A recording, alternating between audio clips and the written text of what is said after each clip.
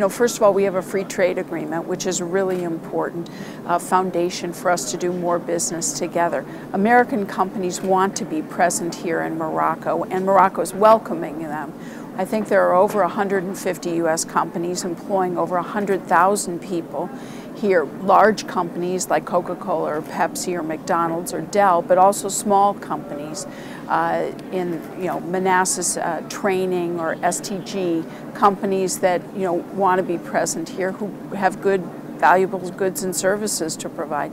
So it the fact that it's both a welcoming environment, that we have a free trade agreement, and we've ex we're expanding our foreign commercial service presence here so that we can help our American companies do more business.